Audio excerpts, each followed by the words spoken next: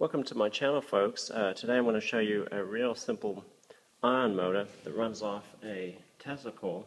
I've got the Tesla coil set up right here and I've got a copper spike that's made from 12 gauge wire that's filed down to a thin spike and basically what I've got on top is just some aluminum foil that's been folded as such. I just rounded off the edges by double folding it to give it like smooth round edges and these, these I cut them to sharp points. So I'm going to fire this thing up.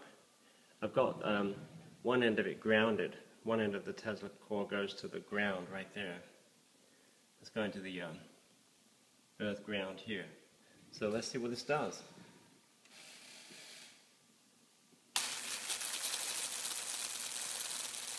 That's really moving.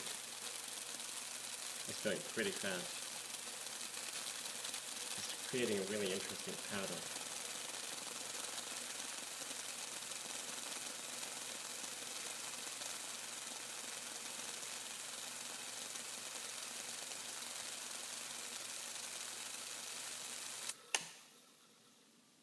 Well, there you go, folks. Um, thanks for watching.